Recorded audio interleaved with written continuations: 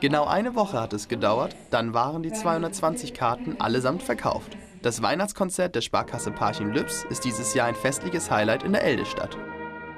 Schon bevor die Sparkasse 1996 ihre Hauptfiliale am Moltkeplatz bezog, gab es die sogenannten Brunnenkonzerte, mit denen für den Bau des Brunnens gesammelt wurde.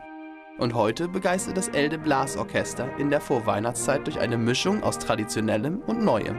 Hauptsache festlich und passend zur Jahreszeit weil es eine absolute Tradition in der, in der Sparkasse Parchim Lübz ist, seit über 20 Jahren. Es ist natürlich mit Vorbereitungen verbunden, mit vielen Proben.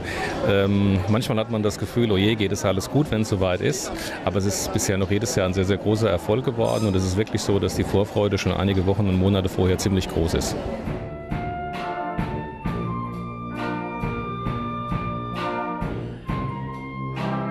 Der Mix aus ungewöhnlichen Stücken wie diesem in Verbindung mit Süßer die Glocken oder eben O Tannenbaum locken jedes Jahr zahlreiche Gäste zum Weihnachtskonzert.